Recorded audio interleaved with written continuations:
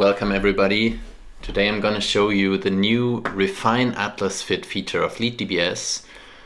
And um, to do so, I started LeadDBS, I open a patient, so I just drag the folder up here and you will see it's being loaded or the alternatively I can just you know click and select um, the patient and um, then the patient is loaded and now what I have done is um, I've already normalized the patient and co-registered the preoperative um, images and normalized it using advanced normalization tools. That's important because this new feature only works with ANTS.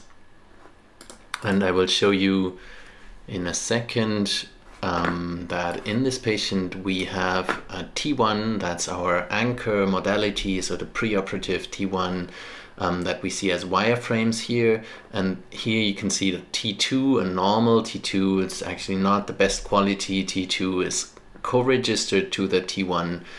Um, that looks good, I've already done that. I click approve and next.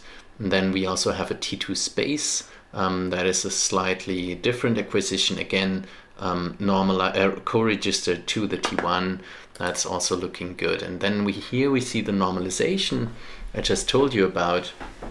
And um, again, we see the MNI space um, wireframes. So that's the ICBM 2009B nonlinear asymmetric um, T1 here, what we can see, and um, the normalized patient T1. So the anchor modality is also shown.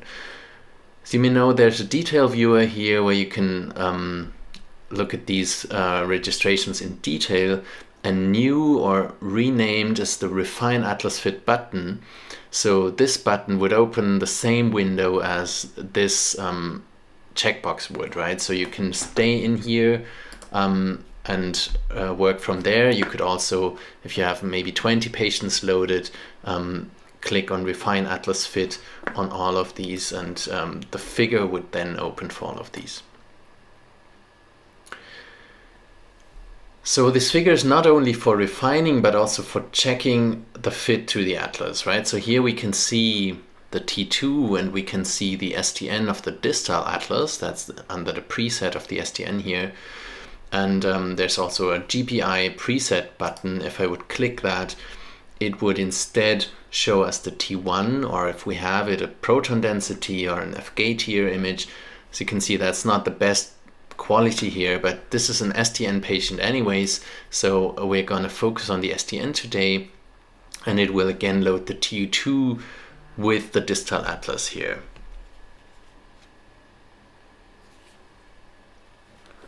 We can also change the modality to show us here. So we could say instead show us the T1, which wouldn't, wouldn't make too much sense, but the T2 space, of course, makes sense. Um, so we can have a look at the fit between the normalized T2 space and the atlas um, in this view too, right?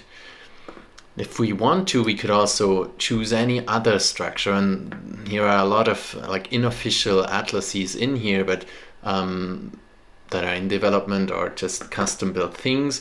But for example, just to show you the standard distal minimal atlas also comes of course with the red nucleus. So we could also have a look at that, right? And, and look at whether the red nucleus atlas and the patient's normalized file has a good fit. Doesn't look too bad, but also not perfect, right? So for example, here we could say, hmm, we would want to refine that. That's exactly what's possible now. So I'll go back to the STN and um, by default it choose the T2. I will start with the T2 space though. And we can basically now refine this fit to the atlas and really work on the like um, sub-millimeter resolution. So for example, I would think that here um, the STN is slightly off. So what I do is I click on um, the image and I get a crosshair and then I click again and then I can draw a yellow line to refine this fit. And I right click to end drawing and then you see small arrows that, that show you how LeadDBS would try uh, to nudge this line toward the atlas line. You say add correction if you're happy. Then you can start drawing again, right? So maybe here we also want to refine this a little bit. Right click, add correction. And here potentially we even have a larger shift like this. And then we can maybe draw around here as well. And then right click and you see that it would nudge everything toward the atlas. Add correction and done. You can scroll through here and at times really refine this a little bit. And you can see that this volume, so I'm not happy with this one now, I discard it, I just draw again. Um, this volume is not the best quality, right? So LeadDBS had had a bit of problems to to find the perfect fit. The more uh, the better the quality in your images and also the more volumes you can give LeadDBS, uh, including several acquisitions and not just a T1, for example, um, the better the fit will be automatically. But um, this new tool will give you the option to also refine um, refine fits. And we can switch between volumes, of course. So I can now look at the same in, in the conventional T2 and again maybe say, okay, this is a little bit off here. It should go like this. And um, add the correction. And we, we have drawn a similar line here already in the other, in the T2 space. Add correction. And maybe want to switch back. The sagittal view here um, has one more option that um, in that it currently only shows you the left hemisphere, but you could also click on right hemisphere and then the scroll bar will only cover um, cover the STN of that hemisphere, right? So make sure to also look at the other ones. Here it's really hard to see that the dis the, like the distinguishing to the substantia nigra, so I prefer not to draw here, um, but maybe prefer to do so, if at all, in uh, the coronal view. One thought is that I would also only draw lines here if I'm really sure to make things better, because um, as you can see, it's sometimes not really easy to see uh, the fit. And um, the other thing is, though, that might seem a bit contradicting, that the more you draw, the better, because um, you might, you know, if you draw a lot of things, then your errors get averaged out again, right? So your manual interaction also bears some risk. But let's say we're happy now, this is fine. Um, we close the figure and only then the changes will be saved Okay, so inside your patient folder you can see that there's a new folder called fiducials now and in that you will see a NIfTI image um, which basically has the hand drawings uh, that we just made and in the MNI space folder which is basically inside LeadDBS then templates space MNI um, you will also see a fiducials folder and that will have one matching pair uh, with the same name. So what we can do now is to recompute advanced, the advanced normalization tools based normalization and that will now take these fiducial files into account as a additional template uh, as an additional spectrum basically and we can maybe double check the settings. So we have the standard effective low variance profile. We use a SYN um, transform. Um, we use mutual information. Volumes are not skull stripped. Um, and we do a subcortical refine step. We may not need that here for demonstration now, but usually I think that's a good idea. And what we can also say now is to start from the prior deformation. Um, so you can have LeadDBS ask you each time or to overwrite. Um, overwrite would mean it would just start from scratch always, right? But here we want to start from, um, from the uh, transform that we already made.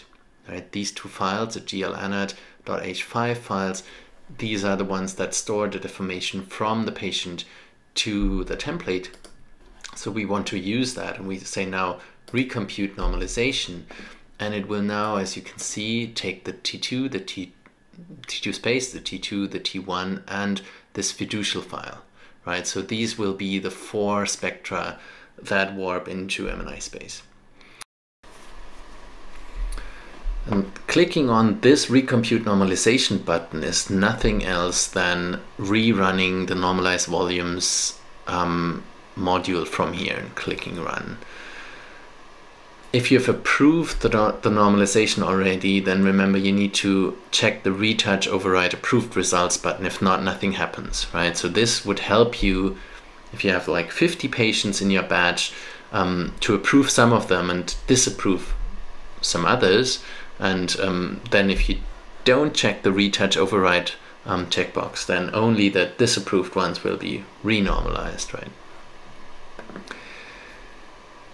But as soon as we add additions to, to the normalization as we have just done, it gets automatically disapproved, right? So now imagine you have 20 patients and 15 of them are perfect, but in five of them, and you approve all of them, but in five of them, um, you make small additions with the tool I just showed you, then these will automatically be disapproved again. So you could run all patients, all patients selected here, without having the retouch and override approved results uh, checkbox on, normalize again, and it would only um, renormalize the ones that we've edited. So this is an option if you have a multitude of patients to, to work with them. Okay, so now we're back. Um, the normalization has run through again and we can just click on Refine Atlas Fit again and then we will see the result. So again, by default, it would point us to the T2 and already we can see a pretty nice fit here. Um, with the STN, it's a bit harder to see in um, coronal view, but if we go maybe to the T2 space, remember this is the STN that we really worked on a lot and you can see a much better fit here now. And I would say in congruence with the other T2 that we have and despite the imaging quality is not that great this is now a pretty nice re registration.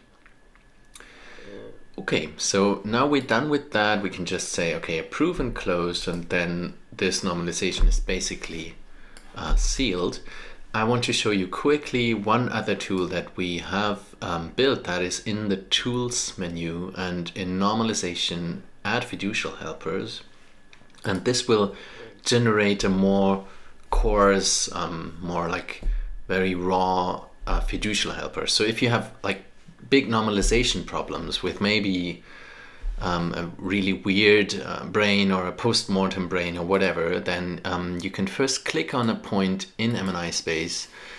Um, let's say we want to make sure this point um, will have a good fit and then you say OK.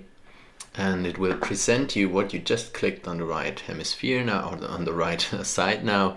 And then you find the same, uh, the same point in the patient's brain right? Um, and then press click. And you can repeat this as often as you want, and you could also do it with multiple patients selected. So um, let's say you always want to make sure the AC is perfectly re uh, registered. You click once on the MNI brain, and then you will be presented with um, all your selected patient if you had more patients selected. And let's see, we want to also um, uh, select the AC here, say OK. And once you're done, once you have um, enough fiducials selected, you just press stop and these will now um, be again put into the fiducials folder in your patient and in the MNI brain. And again, this only has an effect if you rerun normalization, right? So you could basically do, the, do this, this step before normalization or every time thereafter and then um, if you if you select the like uh, start from the prior deformation then you could by that refine normalizations pretty nicely. Okay, that's all for the new tool. Thanks for tuning in and um, have a great day.